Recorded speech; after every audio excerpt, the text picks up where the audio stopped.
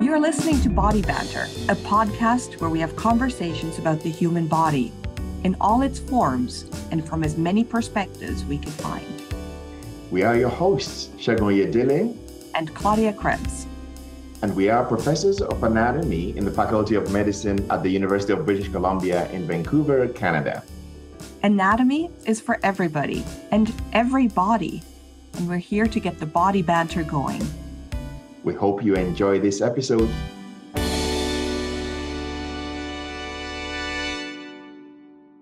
Hi, everyone, and welcome to another episode of Body Banter. My name is Claudia Krebs, and I'm joining you from the unceded ancestral territory of the Squamish, Musqueam, and Tsleil-Waututh nations, also known as Vancouver, Canada.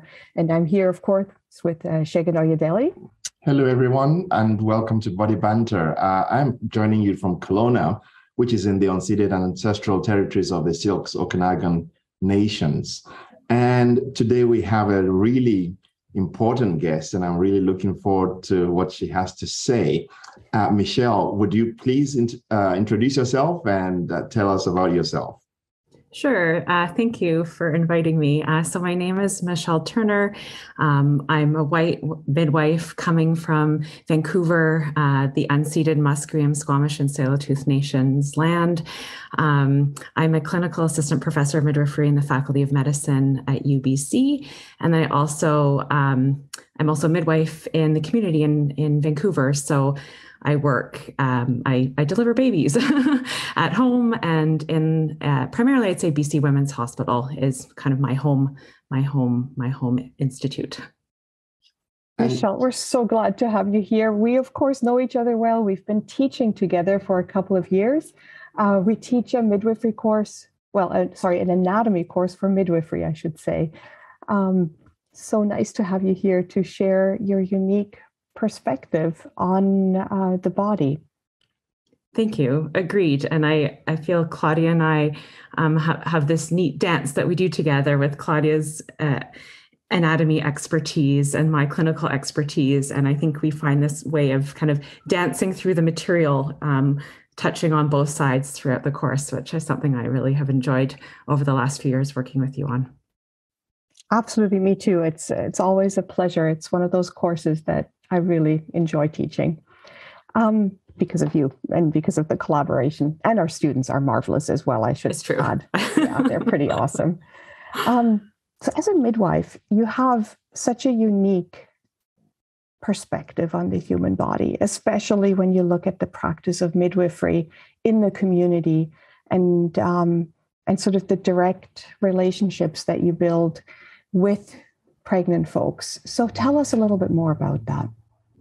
Yeah, and I would say a lot of folks actually don't know a lot about what midwives do in in BC. Um, so I'll actually give a little background just so that everyone's on the same page. So midwives in, in BC are primary care providers. So we provide the medical care um, kind of on our own direction for pregnancy, uh, for the birth, and then for well up to three months postpartum but i would say for most in most contexts it's about six weeks postpartum so in the six weeks following the birth we would support uh, the medical care of the newborn and also uh, the the person who gave birth, the new parent.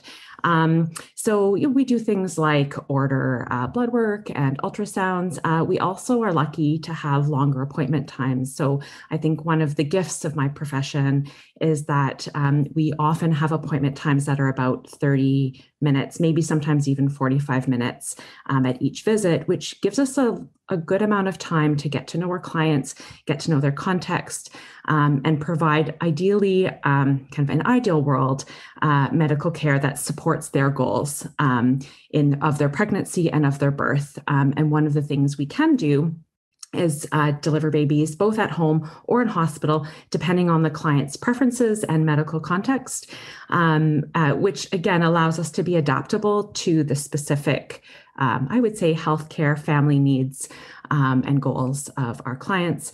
Uh, so, I, in terms of working with them it, you know you're working in a transformational time i mean pregnancy is a time where you um, are becoming a parent, you're growing a family, um, you're, uh, you know, you have it's a strange time when your body is changing in a remarkable way.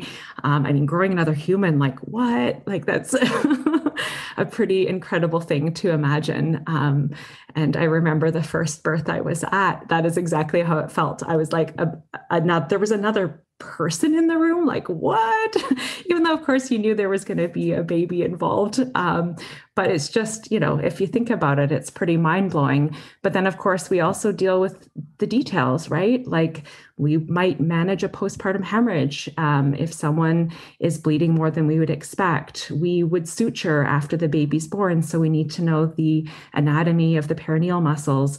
So it's both kind of the macro and the micro um, which i think is a really uh, lovely a lovely role to play in kind of supporting new communities you're going to get like so many applications for the UBC midwifery program after that pitch because that was just beautiful. Who would not want to be a midwife after that description?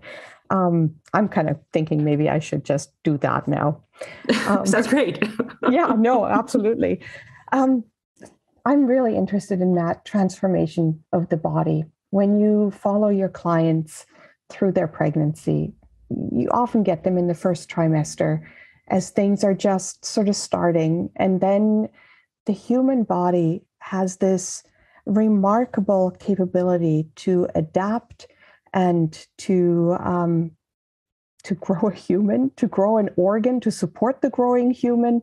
Um, what is that experience, that bodily experience, like for your clients? Yeah. And I mean, I would say so. I, I, haven't given birth myself, so I can't speak to that from like a direct experience perspective.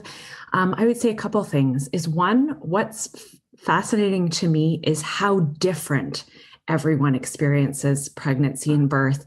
Um, and it's hard to really explain to someone who's not attended multiple births truly like i have had a client who um, gave birth with each of her four babies in 30 minutes from start to finish like that is shockingly fast and in fact overwhelmingly fast um, and and i think I think she would have preferred a much slower birth, in all honesty. Whereas I've had others who have had three, four days of labor, some of which is early labor, certainly, but three, four days of very difficult, long, exhausting labor. Many of the time ends in a C section, but not always. Um, certainly, I've seen many vaginal births after such a difficult labor, and then everything in between and pregnancy is the same. So some people say they feel they're most well when they're pregnant. Their mood stabilizes. Um, they have this kind of renewed sense of vitality. And I had another client who had um, basically pregnancy induced. Um, uh, what do you like? I can't think of the word right now. When like when your inner ear it, it malfunctions such that you're dizzy all the time. Vertigo. Sorry, she had pregnancy induced vertigo such that she couldn't drive a car she couldn't even sit in a car and she had to see a neurologist to get have exercises just so that she didn't feel like she was falling over all the time. Again most somewhere in between.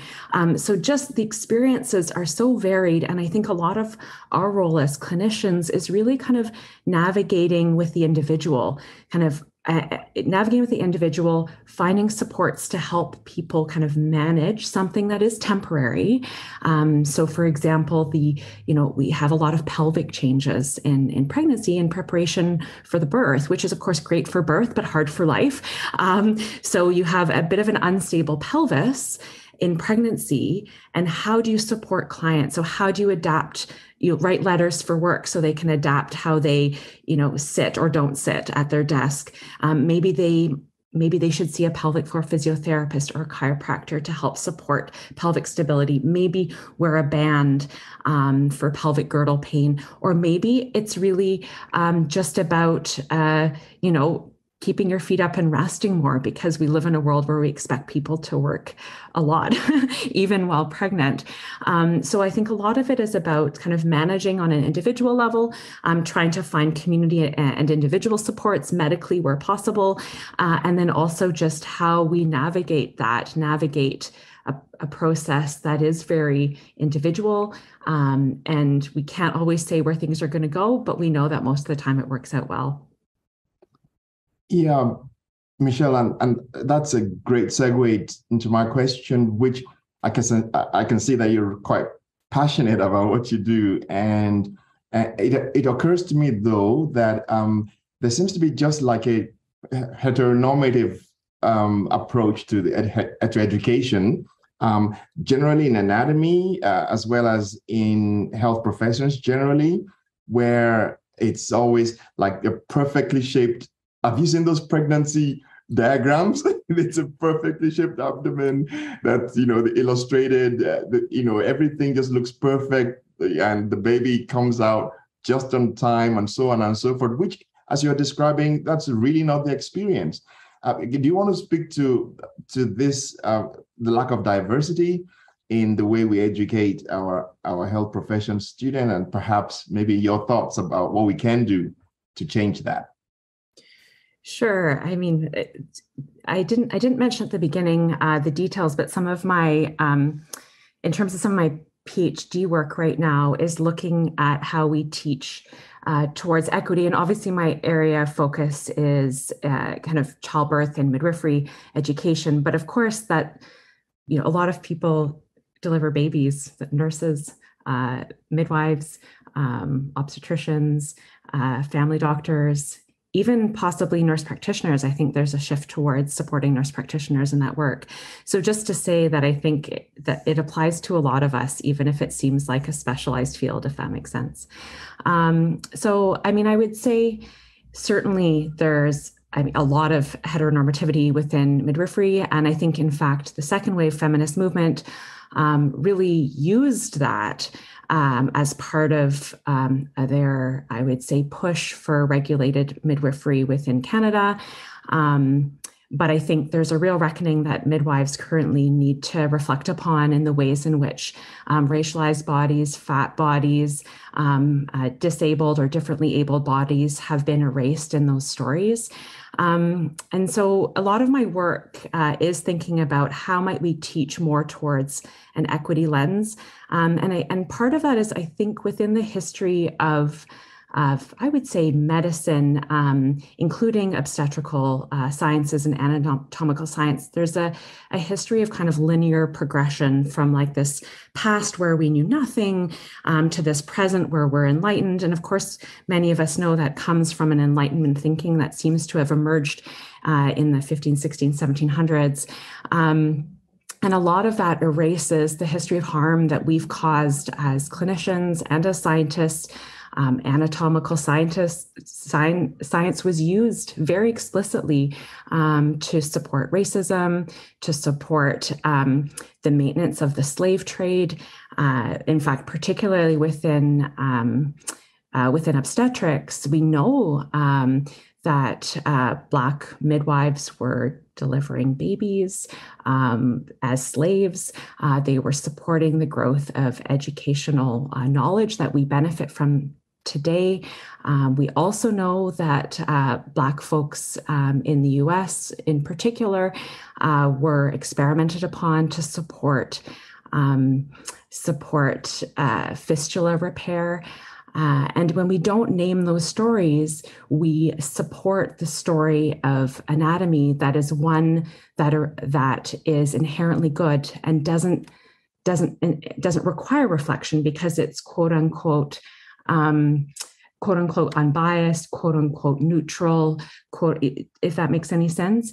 And I think what's really important to me is that we reflect upon the work we're doing now continuously so we don't continue to replicate those harms. Because I was actually reading not too long ago, um, like last week, I was reading a story about the history of sexuality uh, within um, within Canada, and there's a story out of um, uh, the Sick Kids in Toronto in 1915, where uh, a girl of the age of nine was um, was diagnosed with, uh, uh with was diagnosed with uh, chronic masturbation because uh, that was a diagnosis um, that one can have, and it um, it was seen as harmful. It caused degeneracy. That's their language, um, and so uh, the doctors performed a clitoridectomy um, to, in effect, uh, cure this child. And lit- it literally ended saying, you know, that the client was discharged, uh, cured.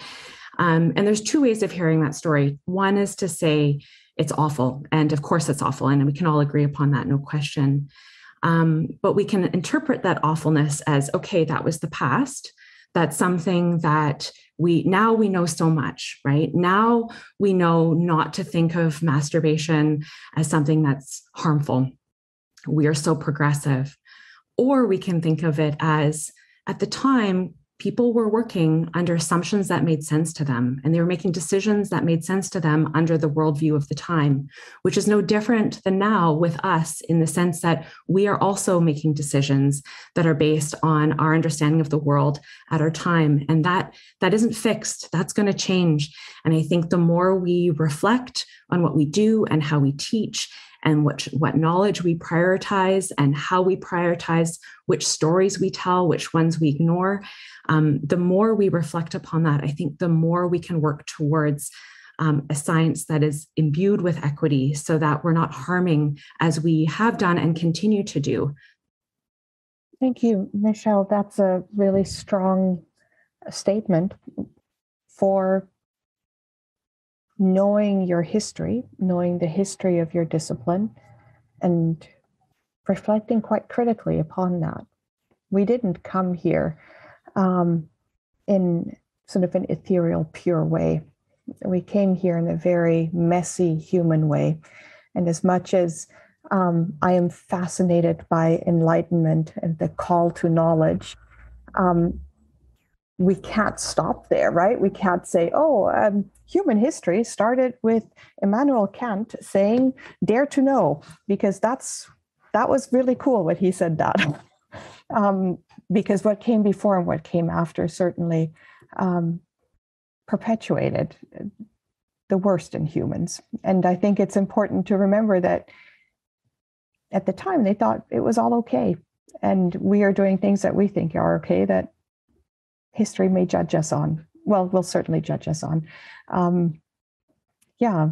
So, what impact do you think that has on an enlightened, I may say that, um, anatomy education?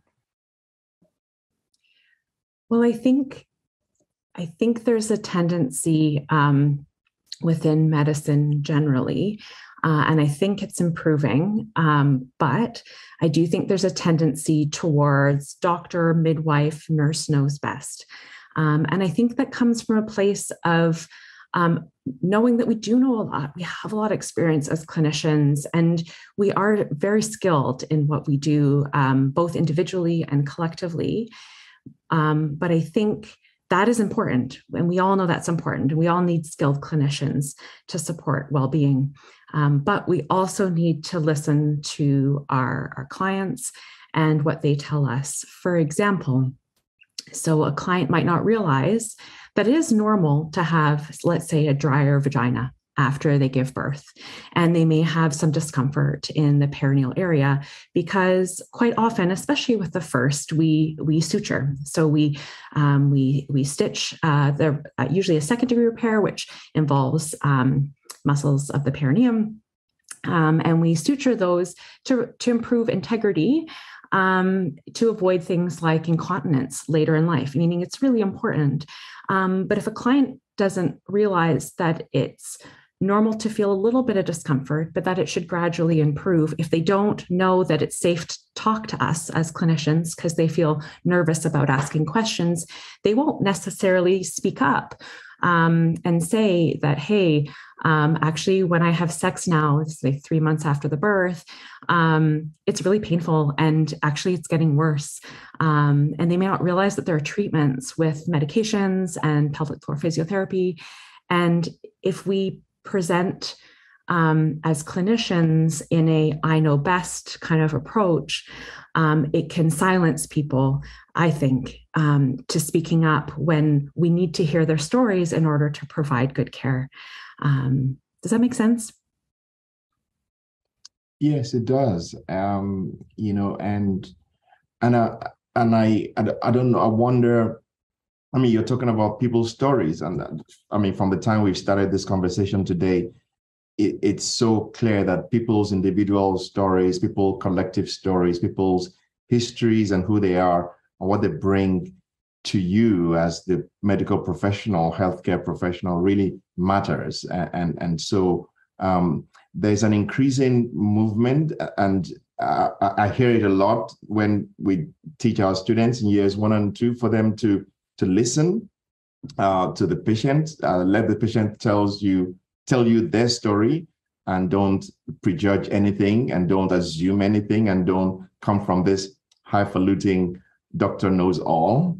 Um, but I still find that it persists, interestingly, and I don't know whether you get that experience. You know, so so I see students a lot from progression from years one and two, and then we meet them at graduation, and sometimes with some of them come back, um, and some of them come back as professors into the program, and and I'm amazed how they seem to get encultured into the system that they meet. Really, really like so.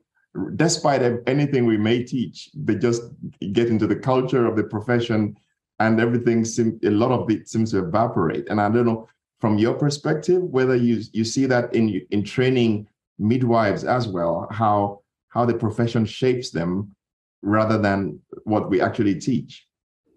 Yeah, I think it's very similar, um, and certainly I think you know a midwifery. Uh, in its current incarnation, I, at least attempts to really prioritize informed decision making from early on, um, which I do think has a tendency uh, to uh, kind of promote a sort of shared decision making approach.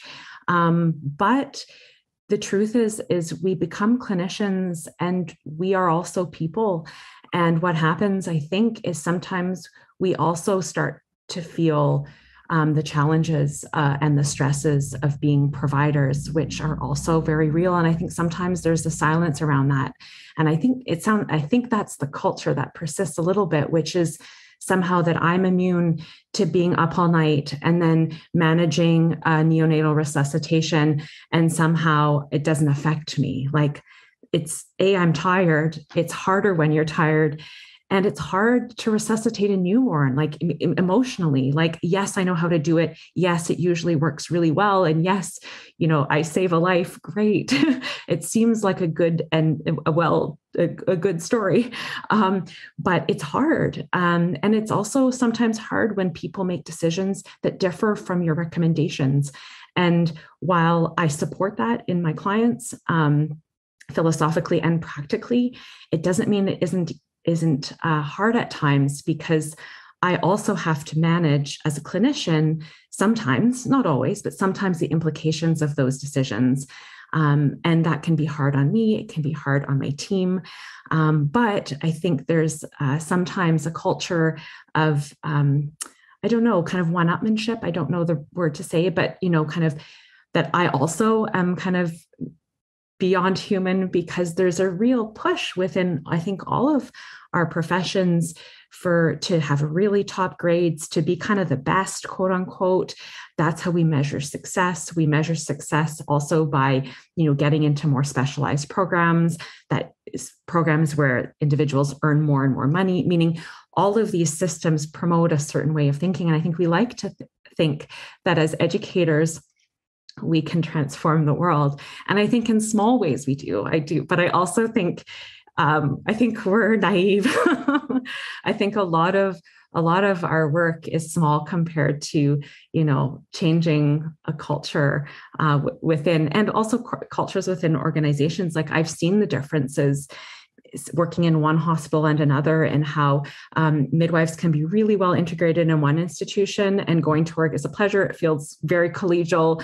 Um, I don't hesitate to contact a physician colleague for a quick question, um, and vice versa, and be in other institutions where it feels um, where I feel like no matter what I say or do, I'm going to be chastised or said, you know, I'll be told I'm not doing something correctly in front of my client, you know, things that I think are quite unprofessional, um, and how that impacts the care we provide. And that's even within this micro culture of, you know, BC or let's say Canada, because I've worked in different jurisdictions, um, let alone, you know, throughout the world. So the capacity we have as educators to change, uh, I think, is sometimes more limited than we wish.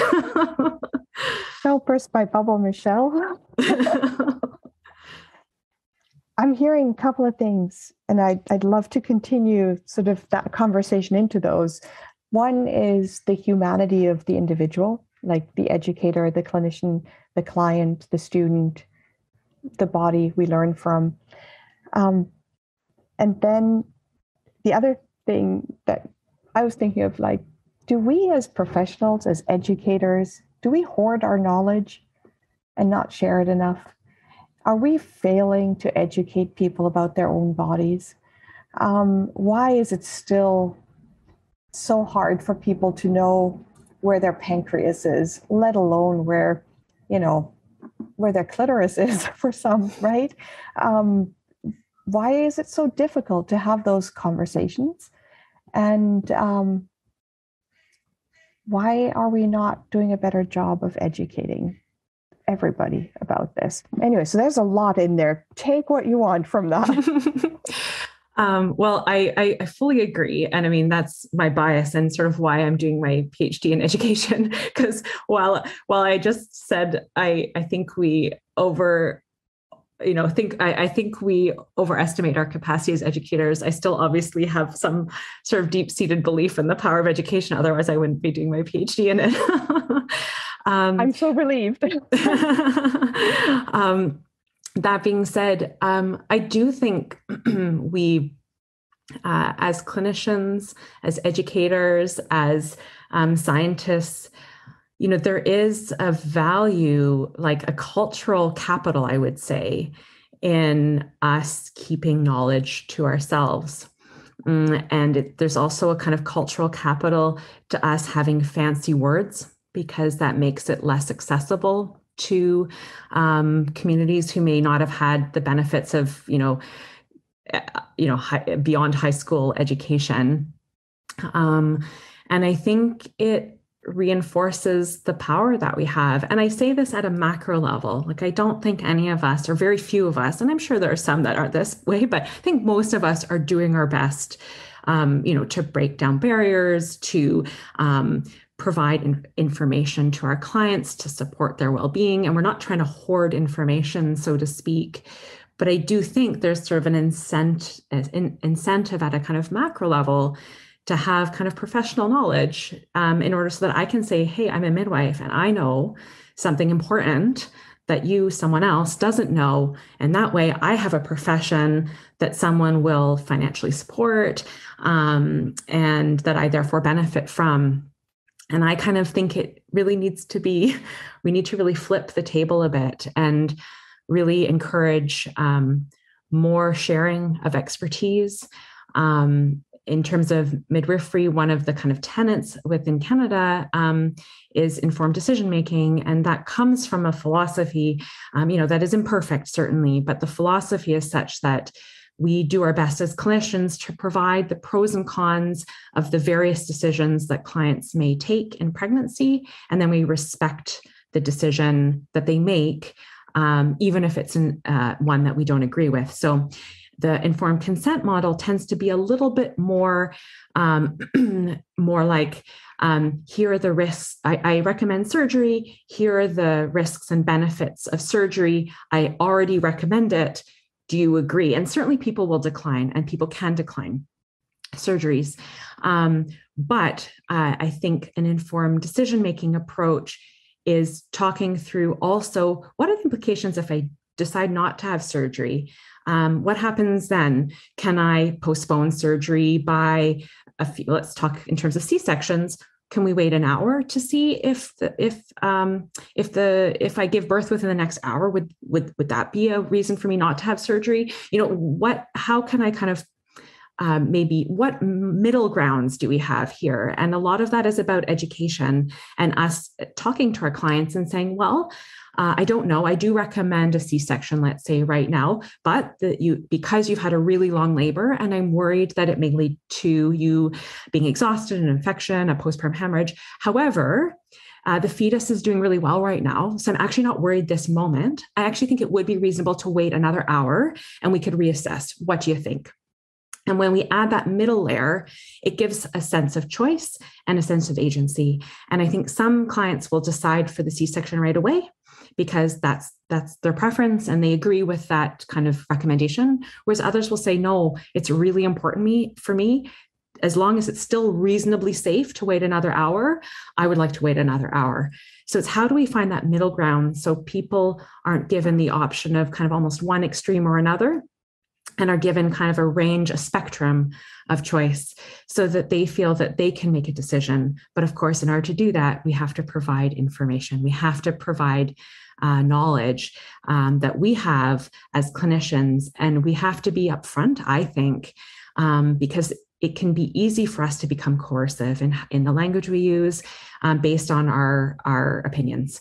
Um, so yeah, I went a little bit sideways on that one, but yes, the short answer is I, I, I think I part of my research is wanting to go into schools with, with young people and teach about birth. So that of course it, it comes from the idea that we need to be sharing this knowledge sooner. And um, just to keep going one more second, I was um, in doing some OSCE examinations um, for um, internationally educated midwives who come to Canada um, to uh, kind of basically learn the system here, which is a little different than where most people are coming from. Um, and so they go through some standardized assessments for, you know, for example, managing a postpartum hemorrhage and how we do it here in the context that we have here. Um, and for that, we work with actors um, so the actors, and I'm sure this is similar in the medical school, um, where they perform, um, let's say, having a hemorrhage, or they perform um, a difficult labor. Um, and uh, one of the actors said to me was like, "Can I, I? I don't know anything about birth. Like, I don't know how to pretend I'm in labor. I don't know. Like, how did I get to being in my 30s and know nothing about?" What I, I can't perform this because all I have to go on is what I've seen in the media. And I'm like, yeah, no, that's not how birth works. so there we went through like an acting lesson in preparation for our OSCE exam. And I was like, exactly. Like people are in their 30s and they don't have a sense of what pregnancy, childbirth, and early parenting looks like. And what a shame. I mean, we, even if you don't want to have a baby, um, that is okay. But we all are implicated. We're all here because someone gave birth to us in some capacity. Um, so that's kind of knowing our origin story. Um, and I think we're holding the, those keys a little too tightly. Yeah, Michelle, absolutely. And I think it, it, we don't talk about the body, right? Ever. Like we just kind of take our body for granted. And as long as it's working, it's okay. And I think you're in a really unique position in watching over a period of nine months, a body transform. Um, and people maybe discovering for the first time their body and having that introspection. I remember when I was pregnant, I'd be, I'd have these introspective moments of, you know, feeling the changes and feeling um, the kicks and, and all of those things, which usually I don't pay attention to what's happening inside of my body. And there, um, I really had that introspection and that I guess profound connection with my body. And I mean, I'm coming from, I'm an anatomist. I know the insides and everything. And I was still connected and fascinated in a in a completely different way. So do you find that this might be for many folks the first time that they have that intimate connection um, with their body? That they usually just kind of walk around their days as we pretend that we're all just ethereal brain beings. Absolutely. Um, and I also think, and I mean, labor, there's nothing like labor to kind of be aware of your body um, in the sense of, I think pregnancy is a really, uh, what's nice about pregnancy and then what's hard about pregnancy is that it's long, meaning you have time to kind of come to terms and or get excited and or get scared and or um, you know ask lots of questions about what it's like to give birth what it's like to be a parent. Um, and i think we're used to i would say a, when it comes to labor we're used to a kind of pain that is kind of external in a way. Um, and i don't of course pain isn't external but meaning like i trip i fall i injure myself something external did that to me Whereas with pregnancy and birth and with like kind of contractions, I feel people often describe it as kind of unusual because it's something that's almost it's like their body their body but it's happening to them. Like it's like they're it, it's a it's a it's not something external that impacted it's something internal that's happening and it's a matter of letting go um, as a way of coping rather than controlling as a way of coping. Um, and i mean maybe you can speak to that more than i can um, but just to say that that's been kind of my experience is kind of almost in meditative ways like practices that kind of support uh, clients to sort of watch in effect um, contractions come over their body, even though obviously it is their body. Does that make any sense? But almost seeing like being able to notice in in that kind of meditative way it happening to you because um, i think otherwise it can be quite overwhelming. Um, and especially for folks who have a really fast labor um, i've heard people describe it differently. Some have said it's like they like literally it felt like laying an egg that just like this this head was just roaring through my pelvis or like pooping um, is a common analogy for pushing um, but almost a sort of guttural like uh, reflex and there is something called the ferguson reflex that we think of um, we need to come up with a better name for that claudia um, um, but i think oh it's the fetus ejection reflex i think that's the other name Perfect. Uh, we know our eponyms. um, so yeah, the fetus ejection reflex, but it, it is very much like a reflex. So something that you're not, we're not used to our bodies changing in such profound ways, especially after no longer being a child and you know reaching our kind of growth um, maximum. We sort of assume this idea of stability, but of course, pregnancy is, you know, the complete opposite of that in so many ways.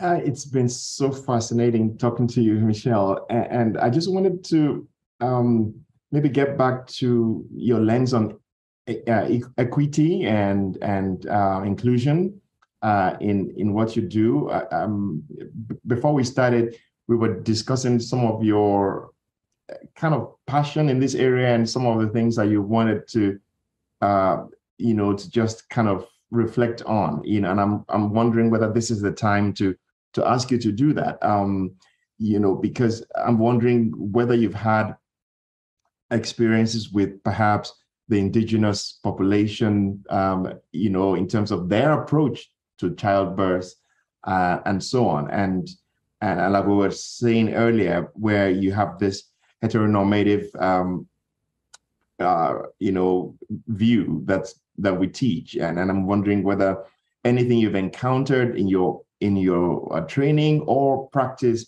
um, really has shifted your view on on practice among our indigenous uh, First Nations people. Do you um, do you have any reflections on that? Yeah, I mean, I would say a few things. As I, I flagged at the outset that I'm a I'm a white settler um, midwife, where my dad was born in England um, and immigrated here, and my mom has been, you know, her family has been in Canada for many, many generations um, of Western European uh, descent. Um, so I would say I definitely am not someone who can speak to Indigenous birth practices at all. Um, what I do know, uh, kind of speaking to equity, is that. Um, uh, we have perpetuated the forced evacuation of Indigenous people off land for generations now um, to birth in larger institutions, and midwifery has um, been complicit in um, sort of devaluing Indigenous midwifery uh, to the detriment of Indigenous communities. And I think at this point, you know, we need to be taking stronger action um, towards reconciliation in that regard. Um, I mean, I I would say I would say I, I would speak to an Indigenous midwife is what I would do, um, and and I'm sure they could speak more um, to their work. Um, but I do know uh, of wonderful Indigenous midwives that work in um, in Vancouver that are are really pushing for equity amongst Indigenous uh, communities, um, both here but also throughout the province and throughout Canada. Um, and again, it's I think about thinking about what stories matter. And it, has been pretty common within midwifery to think of midwifery as, in effect, emerging with the with the resurgence of um, of regulated midwifery in you know 20 25 years ago in canada because we were one of the last if not the last i can't i'm not sure um, industrialized uh, nations to have regulated uh, midwifery um, which you know isn't a, a claim to fame um, uh, that being said it, it then ignores the history of midwives who've been working within this uh, country and on these lands for a generation. So I don't know that I can speak to some of that directly. Um, uh, yeah, I don't know I can speak to that directly, but I think the action needs to come from Indigenous midwives, um, and they would be able to speak more to that than I can. Thanks, Michelle. And we'll reach out maybe to some people that you can recommend to us. Absolutely. It'd be lovely to hear that perspective. Thanks for directing us uh, in that way. Now, as a midwife, you obviously have a unique relationship with the human body, and um, and we teach anatomy together. Um, and I know we're not supposed to have favorites, but what's your favorite body part? Well, Claudia, like, how could it not be the perineal body? like, it has to body. I love it. so it has to be because I, I mean, I don't know if how many of you have witnessed a birth, but it is incredible that that basically how much a perineal body can stretch and then and and and kind of allow for uh, a head a, of a of a, a fetus and then baby to come through.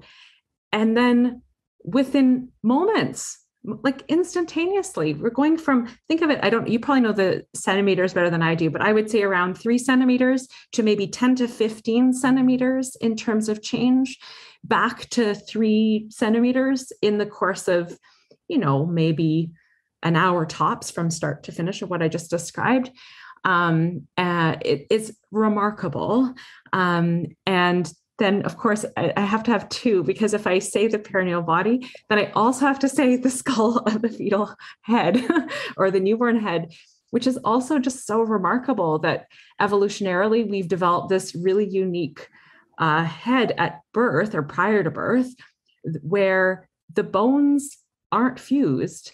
Um, and that way they can move and accommodate the pelvis as the baby is born such that those bones kind of well i mean they're attached by sutures but but just to say they can maneuver around each other um, to accommodate for the various positions the various pelvis shapes um, and then again unaccommodate over the subsequent few hours to days depending on the birth i think it's just a remarkable evolutionary feat um, and also combined a quite a remarkable system. And I don't know how else to say something is beautiful, but I think there's something very beautiful about the perineum. There certainly is. And um, the capacity to adapt to the needs of the situation is um, is absolutely amazing. What's your least favorite body part? Oh, I don't know. Uh, hmm least favorite. Hmm. What's your least favorite? Oh, we've gone through this. So I had like a combination of guts and toes. And Shegun, what was yours again? Appendix, I said. Oh, right. Appendix. yeah, I think eh, that is a really hard one. I would say because I was like, no, but like toes are so interesting. No, but guts are so interesting too. appendix, honestly, I have no opinion on the appendix. um, yeah, I don't know. I, I I would say that one I don't know I could answer. I'll, I'll have to think on it and I'll get back to you to be continued. That's fair. That's awesome. Um, and you don't have to have a least favorite body part. You know, we can uh, value them all um, as we do. And I, I do like toes and guts just not as much as brains. There you go. Fair. and the perineal body now. Come on, Claudia, you have to enjoy the perineal body. I do. okay. Well, Michelle, thank you. It's been so wonderful to have you here and share your perspectives and your stories. Um, I really look forward to the impact that your PhD work is going to have on the community. Um, I I think it's going to be really wonderful to develop um, a curriculum that incorporates pregnancy and childbirth at very young ages. Um, I do think it will make a difference, and I think you'll have an impact and make a change. Thank you so much for joining us. Thank you Thank so you. much, Michelle. Lovely Thank having you. you today. It's been a pleasure. Nice spending time with you all. Thanks. And that concludes another episode of Body Banter. Be sure to join us for our next episode. Bye, everyone. Thank you for listening to another episode of Body Banter. We are Claudia and Shegun. And we look forward to having you join us for more conversations about the human body next time.